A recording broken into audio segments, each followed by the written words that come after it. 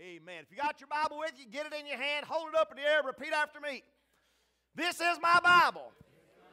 I am what it says I am. It is a light and a lamp and a sword.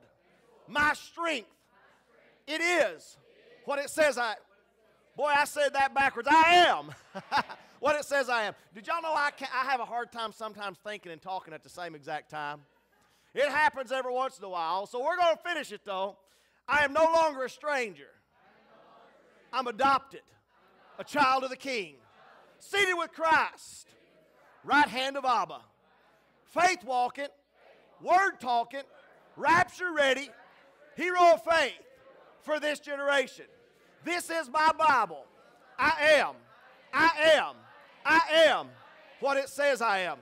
And I want to remind you at Bell's Chapel Assembly of God Church, we are still a lighthouse where the power of God by the right hand of God is ripping men and women out of darkness, bringing them into the light where their lives are being rescued, recovered, and restored forever and forever and forever. That is still who we are. And I want to tell you this started this morning with a new vision that the Lord had dropped on my heart where we are going to love the display and the power of the presence of the living God with all of our heart, with all of our mind, with all of our soul, with all of our strength.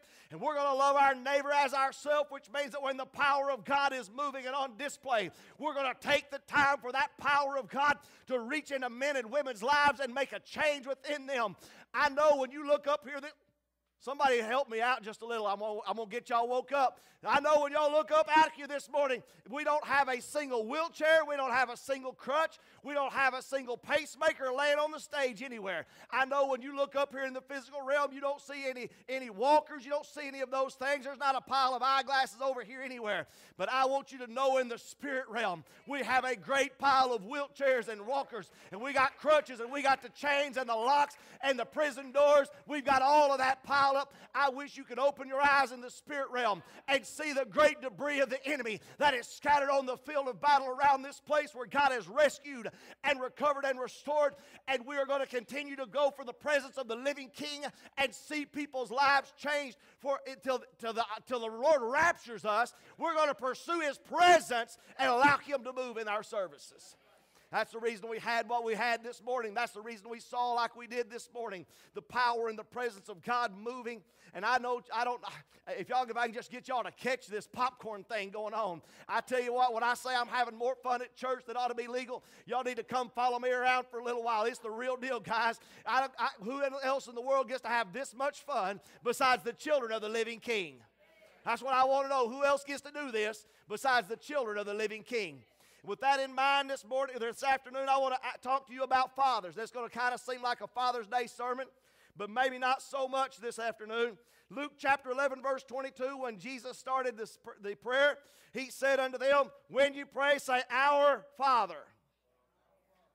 Everybody say, Father. Jesus said unto them, When you begin to pray, I want you to pray this way, Our Father. And I want to know, ask you this question as we're getting started. How many of you really know him as Father? What does that mean? What does it mean to know him as Father? What does that actually mean? What does it entitle that he is our Father? I want to tell you, he is God. He is omnipotent. He is omniscient. He is omnipresent. He is in heaven. He is on the throne. But He is first and foremost. He is your Father. I know we get this thing in our mind about who God is and about where He is. And He's off in a distant eons of space out there somewhere. And maybe He looks to you like a great old man with a long white beard. I don't know what He looks like to you. Maybe He looks like a cloud without form. I don't know. And we get this thing going in our mind about His power and about His presence and about His uh, position in the universe. And we forget this one thing, most important thing you can have in your life. Yes, He's God. Yes, He's omnipresent. Yes, He's omnipotent. Yes, He's powerful. He is all those those things, but above all else, He is your Father. And all the enemy is doing everything he can to remove the idea of what does it mean to be a father in this nation. The enemy is doing everything he can to remove the idea of what it means to be a father and destroy what real fatherhood is. If you look around our nation and look at what's going on in this world, all kinds of things are destroying fatherhood. Lost custody, divorce and separation, Oftentimes, unfortunately, death sometimes happens. And sometime, quite some time ago, three or four decades ago, social programs began to be instituted through our country and through the government that made fatherhood not so important anymore. The federal government began to step in and say, I'll be the father. I'll pay the bills. I'll support the children. I'll put the groceries on the table. You fathers, you'd be better off. Y'all go ahead and just go on down the road, find your apartment somewhere else. We'll take care of the kids. We'll take care of the ladies, and y'all just go on your way. Drugs and alcohol. Moving into the home, destroying what fathers are supposed to be and taking away what a father is in a home and changing what a father is supposed to be. Abuse and abandonment, other regulations, and the government then coming in through the court system and saying to a father, You only have the right to produce bread in the house, but you don't have a right to discipline in the home. You don't have a right to lead in the home. You're going to do like you're told when you're told. You show up, bring the bread, go back outside, mow the yard, but after that you're done. Leave the kids alone. I'm still preaching. It's what's happening to fathers. It's what's happening around our nation to fathers. And the enemy is in an onslaught to, to destroy what a father is in the home. If you want some statistics on it, I'll prove it to you. 43% of children right now in the United States of America are living without their father in their home. What's happening in America with fathers? The enemy is coming in and trying to remove the father out of the home through all different avenues, all these different means, trying to destroy the idea of what is a father. 63% of youth, youth suicides, no father in the home. 90% of homeless runaways, no father in the home. 85% of child, children with behavioral disorders, no father in the home. 71% of high school dropouts, no father in the home. 75% of kids in drug treatment programs, no father in the home. 85% of children incarcerated right now in juvenile detention facilities, no father in the home. Children, women, uh, excuse me, girls with no father in the home, 711% more likely to produce a child as a teenager because no father in the homes. Those are current statistics right now in the United States of America. What's happening? It's an onslaught against fathers. The enemy's doing everything he can to come in and twist the idea of what is a father, what makes a good father, what is a strong father, why does there need to be a father in the house? I don't need a father. All I need is, is a mother. I don't need all of that. I don't need that direction. I don't need that leadership. I don't need that guidance. It's a rash of fatherlessness in the nation. The role of the father, uh, the proper development of children in the home is absolutely indispensable in the home. You want to know why there's riots going on in the streets right now? You want to know why all that's happening after the election with Donald Trump? You want to know why those people marched and why they did all that? There's a thousand different possibilities, but let me throw this out there to you. They don't have a father. They did that because they're scared. What are they afraid of? Because they've been raised in homes without strong fathers. They've been raised around weak fathers, abusive fathers, fathers in abandonment, etc., etc. And the idea of father has become so foreign to them that they don't know what a strong father is. And then a man has been elected who stands up and he says, I'm a strong father figure. I have good children. My children do what I ask them to do. They have followed me. He may not have been morally perfect, but as a father, he's been a good father. And he stood up as a father figure and he said, I'm going to father this nation and I'm going to make this nation follow me as a good, strong father. And they fell into fear. Why? It wasn't because of his programs, it wasn't because of his words. It was because he stood up as a father and said, I'm going to father this nation, and you're going to follow me as a father. That's what they were afraid of. And the enemy has set out to destroy that idea of father. And I want to tell you something. Listen to me tonight. You will never know who you are until you know who your father is. I've been saying this for a couple of weeks. You will never know who you are till you know who your father is. Approximately three months ago, I was sitting at my breakfast table Everybody else had already gone to, had gone on to school and to work, and I was sitting there drinking a cup of coffee, reading. And I'll never forget in that moment, the Father spoke to me my own self, and He said, You still don't know who you are because you don't know who I am. You still don't know who you are because you still don't know who I am. And from that moment, I began to try to determine who is He as my Father. I was lucky. I had a good father. My dad was at every football game. He was at every bas- baseball game. He was always there. He went to work. He came home. He did all of those things that a father's supposed to do. He whipped our tail when it needed whip. Sometimes when it didn't need whip because we missed one, so he got he got a catch up one.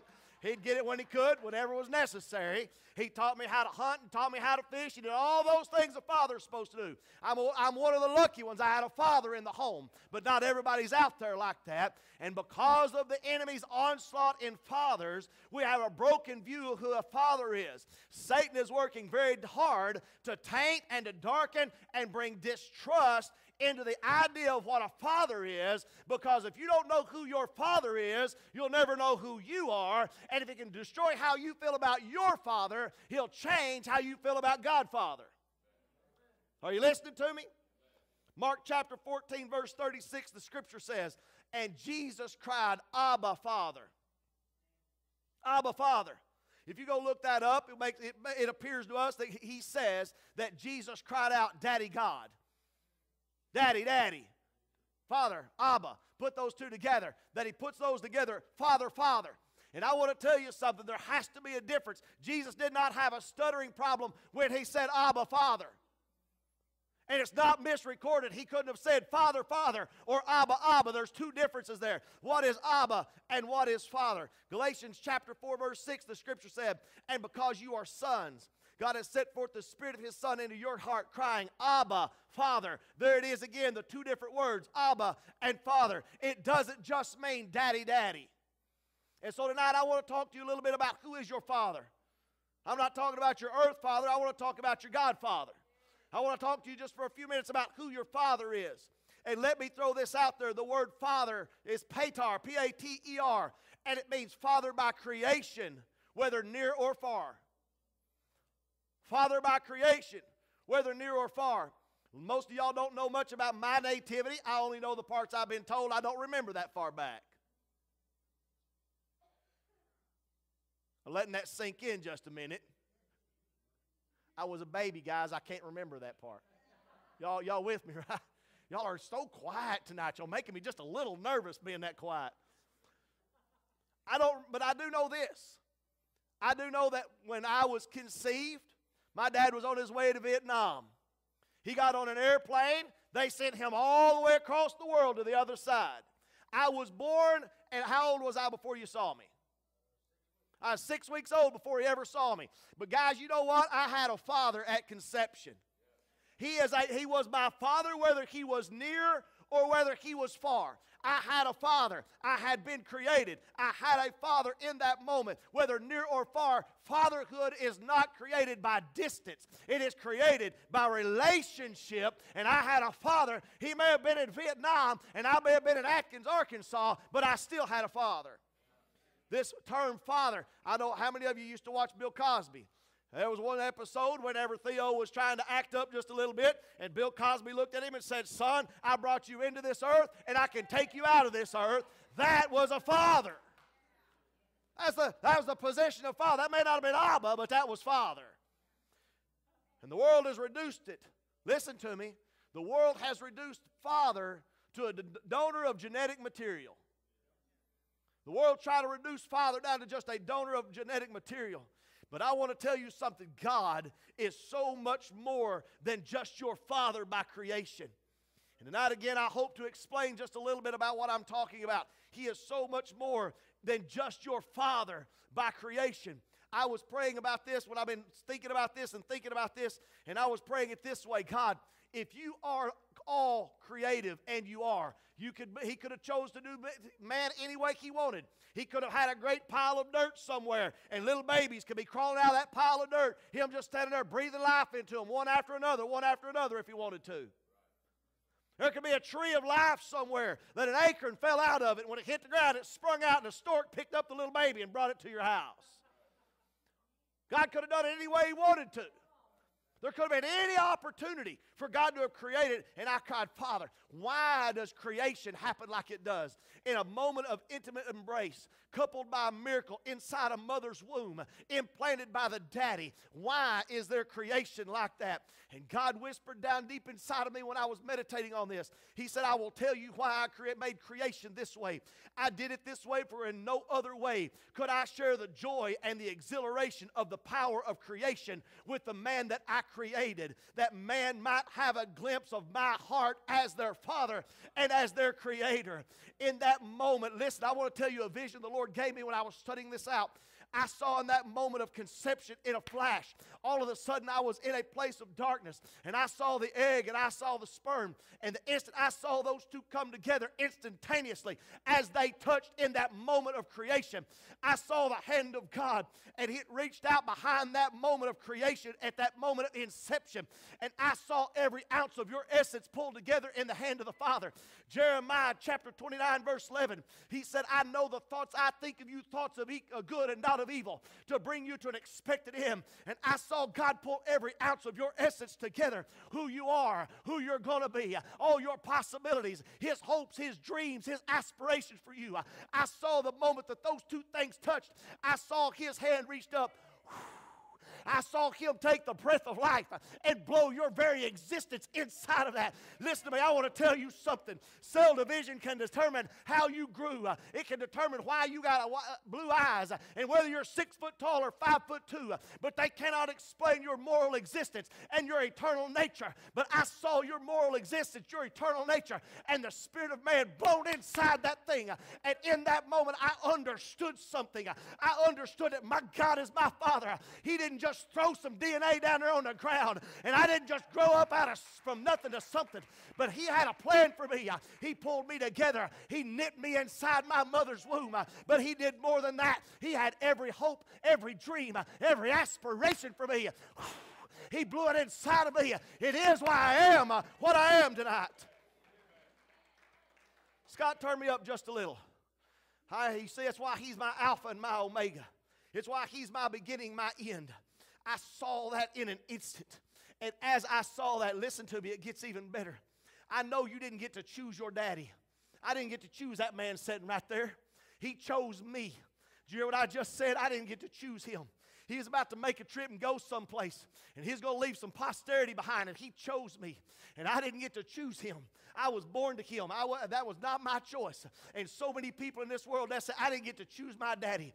My daddy ain't been a good daddy, and I didn't get to choose my daddy. But I want to tell you something. He chose you. And I want to tell you something else. God, you didn't get to choose your existence. I've heard people say, I didn't ask to be born, I didn't choose to be here, and I didn't ask for this. But I want to tell you something. Your God chose you. He knit you together in your mother's womb as a creative force. He picked you out of the air, out of nothing. He designed you. He put your life together in the palm of his hand. He blew his life into you that you might live. All his hopes, dreams, and aspirations into you. That's who he is. He is God your Father. I know you didn't get to choose him, but he chose you out and called you from nothing into something and pulled together who you are every hope, every dream, every aspiration. You're looking at that and you're saying, if that be the case, why am I where I am like I am? I done told you there is an enemy out there, and he's trying to destroy the image of the Father in you. But I want to tell you right now, that man said right there has never had one ounce of harm for me. He's never thought one evil thought about me. He ain't never done nothing but want the best for me. And he ain't nothing but a piece of what God is. And I want you to know I don't care where you are, what's going on in your life. I don't care what the enemy has stormed up or brought up. Your God has never had one evil thought about you. He ain't never cast his eye down on you, and he ain't never shoved you aside. He chose you, called you out of nothing, and made you into something. And He has a plan for your life. He is your Alpha and your Omega, your beginning and your end. While the Lord was giving me all that, He told me, He said, Y'all come out in three ways. There goes my clock. Y'all are in trouble now.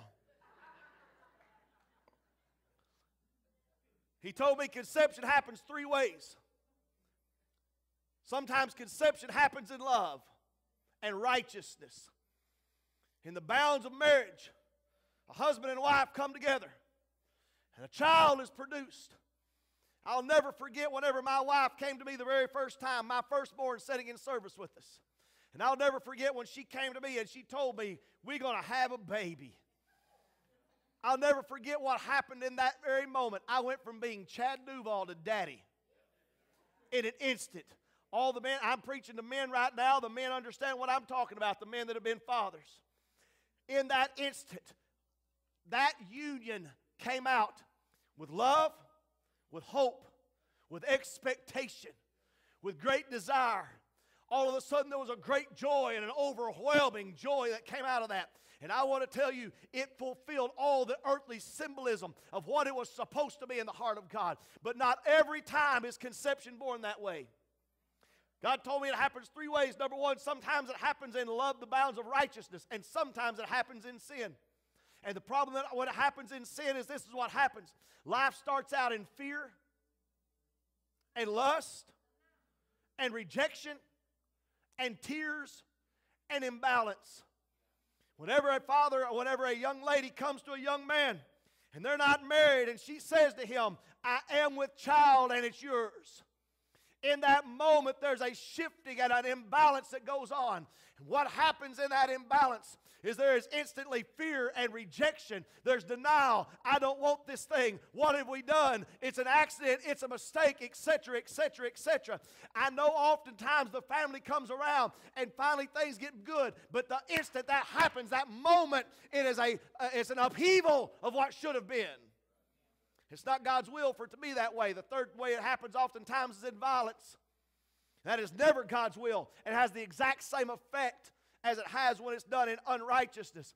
But God told me this he said it doesn't matter if it happens in righteousness, it doesn't matter if it happens in sin, it doesn't matter if it happens in righteousness. I attend the creation of all of my creation. I'm there every single conception and every single time. Whether it starts in love and righteousness or whether it starts in violence, those are my children. I put that seed in there, I blew that.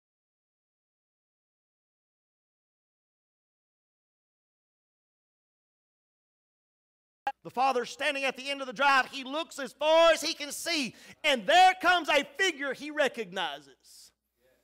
Instantaneously, nothing else mattered but the boy walking down that road. The scripture says in Luke chapter 15, verse 20, and he arose and came to his father, and when he was a great way off, his father saw him, had compassion on him, and ran and fell on his neck and kissed him. And in the original Greek, if you go back and look at it, it actually says it this way He ran to him, he fell upon his neck, and he kissed him and could not stop kissing him. He just simply could not stop kissing him. Stunk like a pig, slop in his beard, left with half the goods of the Father. And he's come back with nothing but stink broke and broken. And the father found him broke and broken and ran to him pell mell, fell on his neck, and just simply could not stop kissing him. Listen to me. I don't care where you've been, I don't care what you've done. Your salvation is not law. Your salvation is not works. You see, your salvation is about the fact that Father found you. He saw you a great way off and had compassion on you, and He ran to you. And He fell upon your neck, and He kissed you. And He just simply cannot stop kissing you today. He simply just cannot stop kissing you. He loves you more than you can even imagine. I want to look at Jesus real quick. We find Jesus in the Garden of Gethsemane in Matthew chapter 26, verse 42. And he's down on his knees and he's prayed until blood, and like great drops of sweat, has appeared on his brow. And he says these words Father, if it be possible, Abba, Abba, if it be possible, let this cup pass from me. But if not, thy will be done. What did Jesus say? Abba, I have no fear of death. I have no fear of failure. And I have no fear of life because I know you as Abba. He arises from that place. You all know the story that in Matthew chapter 27, verse 46, I want to show you something that we've questioned our whole Christian existence. And about the ninth hour, Jesus cried with a loud voice, Eli, Eli, lama sabachthani. That is to say, my God, my God, why have you forsaken me? I will point out something glaringly obvious, but we have missed it. He does not say, Abba, Abba, why have you forsaken me? Please look at it again. My God, my God, why have you forsaken me? Why did he say, By God, my God, why have you forsaken me? Stay with me just a second. Because in that moment, Jesus became prodigal. And you'll say to me, Jesus never was prodigal, for Jesus knew no sin. And I will say to you, in that moment, Jesus became prodigal. And he was far, far, far from his father. His father was in heaven, and he was on the earth, just like the father was at home and the prodigal was in the pit with the pigs. First, excuse me, Second Corinthians chapter 5, verse 21, it says, For he had been was made to be sin for those of us who knew no sin. In that moment, Jesus became prodigal for you. But that's not where it stays. If we may take one more trip down this same trail. Luke chapter 23, verse 46, at the end, and when Jesus had cried with a loud voice, he said, Abba, into your hands I commend my spirit. I did I had not ever seen this, but as I was researching this out, I found out that in Song of Solomon, chapter 2, verse 10, 11, 12, and 13, we find God's answer to his call. Listen to this, please. Jesus has just about to die, has just died on the cross. Cried out, Abba, into your hands I commend my spirit. And this is the response from God. Solomon, Song of Solomon, chapter 2, my beloved spake and said unto me, Rise up, my love, my fair one. Think about this. Jesus is hanging on a cross. These are the words of Father to Jesus. Rise up, my love, my fair one, and come away. For lo, the winter is past, and the rain is over and gone. The flowers appear on the earth. The time of the singing of birds is come, and the voice of the turtle dove is heard in our land. The fig tree putteth forth her green figs, and the vines with tender grapes give a good smell. Arise, my love, my fair one, and come away. Abba heard the cry of the one dying on the cross. Arise, my love, and come away. Your work on earth is done. Arise in that moment, if you would, with me in your mind. Imagine there stands Father on the portal of heaven. He has just called, Arise, my love, my fair one, and come to me. And he looks, and there stands a form that he recognized pierced, beaten, bloodied, broken, a mess. And he rushes down the hallway of eternity and falls on the neck of Jesus and kisses him and just simply can't stop kissing him. I will remind you that that is you. Jesus is looking right this minute down the hallway of eternity, and he sees you at the end of that aisle, bloodied, broken, a mess. And he has rushed across down that hallway of eternity and he has fallen on your neck today and he is kissing you and just simply cannot stop.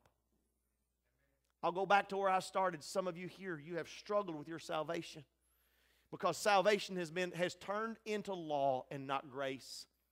Don't, can't, can't go here, can't go there, can't do this, can't do that, got to read, got to pray, got to study, got to read, got to pray, got to study. Now I'm under condemnation because I didn't pray, I didn't read, I didn't study. I just can't be good enough. I just can't be good enough. So all of a sudden, salvation has become a weight I cannot carry, a stone upon my back. I wish I didn't even have to do it this way, but God's the boss, so I don't want to go to hell, so I'll just do it. And your salvation has become a burden and not a pleasure. It has driven joy far from you. But I want to tell you something today. Father is pursuing you. He's ran down that hallway of eternity. He's fallen on your neck. And he simply cannot stop kissing you. I've got a video that we're going to play that, for my altar call. It's about three minutes and 43 seconds long. And at the end of it, if you're here today, I'm not saying you're backslid. I am not saying you're backslid. But I'm saying salvation has turned into a weight and you can barely bear. And you need to not just know Him as Father distant, but you need to know Him as Abba. In three minutes and 43 seconds, I want you to come to this altar and picture Him falling on your neck, kissing you, and just simply can't stop. Play the video for us. In a little chapel in the Allegheny Mountains of western Pennsylvania. And in literally the thousands of hours of prayer, meditation, silence, and solitude over those years, I am now utterly convinced that on Judgment Day, the Lord Jesus is going to ask each of us one question and only one question. Did you believe that I loved you? That I desired you? That I waited for you day after day? That I longed to hear the sound of your voice? The real believers there will answer, Yes, Jesus. I believe in your love and I tried to shape my life as a response to it. But many of us who are so faithful in our ministry, in our practice, in our church going, are going to have to reply, well, frankly, no, sir. I mean, I never really believed it. I mean, I heard a wonderful, a lot of wonderful sermons and teachings about it. In fact, I gave quite a few myself. But I always thought that was just a way of speaking, a kindly lie, some Christians' pious pat on the back to cheer me on. And there's the difference between the real believers and the nominal Christians that abound in our churches across the land. No one can measure like a believer the depth and the intensity of God's love, but at the same time, no one can measure like a believer the effectiveness of our gloom, pessimism, low self esteem, self hatred, and despair that block God's way to us. Do you see why it is so important to lay hold of this basic truth of our faith? Because you're only going to be as big as your own concept of God. Remember the famous line of the French philosopher Blaise Pascal? God made man in his own image, and man returned the compliment. We often make God in our own image, and he wants us to be as fussy, rude, narrow minded, legalistic, judgmental, unforgiving, unloving as we are. In the past couple of three years, I have preached the gospel to the financial community in Wall Street, New York City, the airmen and women of the Air Force Academy in Colorado Springs, a thousand physicians in Nairobi. I've been in churches in Bangor, Maine, Miami, Chicago, St. Louis, Seattle, San Diego, and honest, the God of so many Christians I meet is a God who is too small for me because he is not the God of the Word. He is not the God revealed by and in Jesus Christ, who this moment comes right to your seat and says, I have a word for you. I know your whole life story.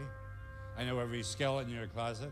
Listen. I know every moment of sin, shame, dishonesty, and degraded love that has darkened your past. Right now, I know your shallow faith, your feeble prayer life, your inconsistent discipleship. And my word is this I dare you to trust that I love you just as you are and not as you should be, because you're never going to be as you should be.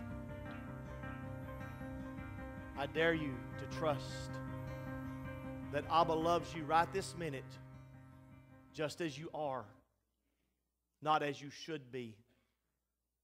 I hope you heard him say this I dare you to love. I dare you to accept the love of Christ who takes you just as you are, not as you think you should be, because you will never be as you think you should be. Because we're human. Because the enemy will always keep moving the bar.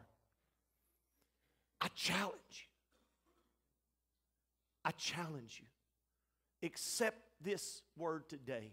Abba loves you just like you are.